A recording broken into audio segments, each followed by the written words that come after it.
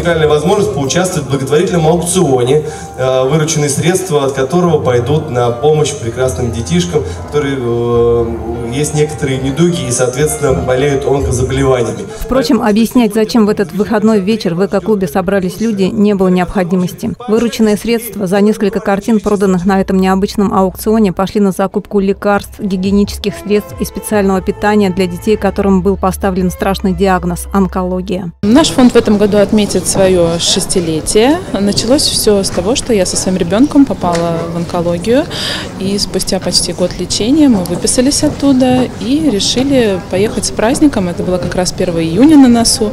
Мы приехали просто волонтерами, с подарками, с аниматорами в отделение, а уже в августе мы учредили официальный фонд, и вот 6 лет уже работаем. Благотворительный фонд на здоровье детям вот уже несколько лет несет добро и надежду. Организуя сбор лекарственных средств, его волонтеры приезжают на специальном автобусе по улицам города в дома, объединяя всех, кто хочет внести свой вклад в скорейшее выздоровление детей. Многие работники фонда не понаслышке знают, что такое онкология. Не секрет, 85% онкологии лечится и 25% умирают. Умирают у нас в отделении.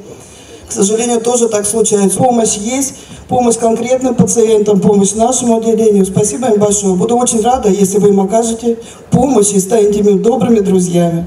На благотворительный вечер пришли художники, чтобы присоединиться к работе фонда «Детям на здоровье» и найти новых авторов искусства добра. Одна из э, работ у нас представлена, где нарисована балерина, и называется она «Мечта». Вот. И другая наша картина эта картина а, называется «Дочь – жизнь». Как правило, э, все считают, что природа – это мать, а дочь является ее жизнью. Она, жизнь, она вдохновлена в, наш, в нас, в нашу природу.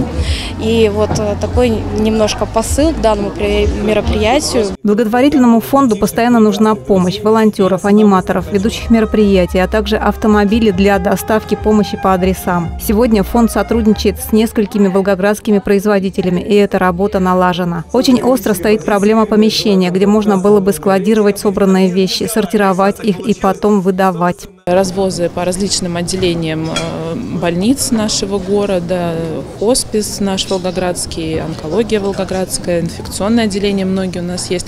Есть э, отделение, где отказнички у нас, то есть постоянно мы в разъездах, нам колеса нужны как воздух. Найти нас можно в соцсетях, благотворительный фонд «Детям на здоровье», можно найти нас на сайте www.детямнз.ру.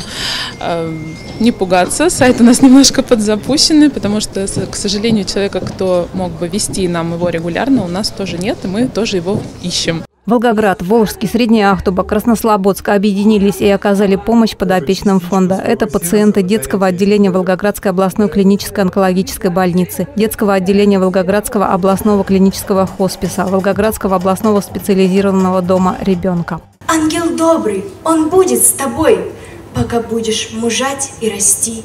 Будет он тебя нежить, качать, наклонясь колыбельные петь будет крепко груди прижимать. В аккаунтах фонда вы найдете много историй, которые без слез читать невозможно. И даже несмотря на то, что работать в акциях фонда очень нелегко, в первую очередь эмоционально, его активисты верят, онкобольных детей будет все меньше, если этого захотят больше людей. Татьяна Крючкова, Роман Миколенко, телеканал «Волгоград-1».